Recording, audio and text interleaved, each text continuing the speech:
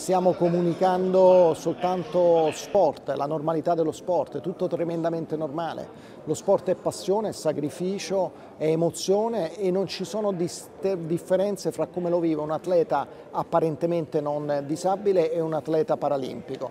È tutto tremendamente uguale. Ecco, noi vorremmo che si trasferisse questa normalità perché un paese cresce quando cresce il PIL ma anche quando cresce la cultura del paese e in questo io credo che lo sport paralimpico stia garantendo una eh, silenziosa rivoluzione culturale. Dopodiché naturalmente c'è la narrazione delle storie umane che ci sono dietro questi straordinari atleti, ma quella è la seconda parte del racconto, non deve essere la prima.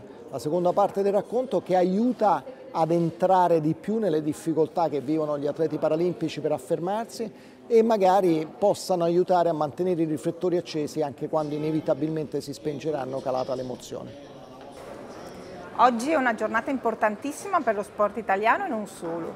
Eh, qui ci, sarà, ci, si racconteranno storie, retroscena, aneddoti di vita di sport eh, che noi abbiamo visto sempre in tv ma raccontate dai protagonisti rendono più l'idea e fanno capire esattamente cos'è lo sport.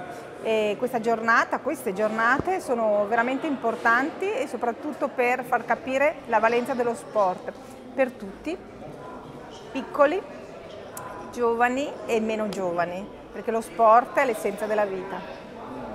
Allora, l'esperienza che mi, mi, porto a casa di queste Paralimpiadi è, è diciamo che la, la, il riamarico principalmente di tutto di eh, non poter eh, eh, aver fatto proprio come avrei voluto e la seconda è che praticamente una festa praticamente bellissima e meravigliosa e sono cose che praticamente bisogna viverla per poterla raccontare.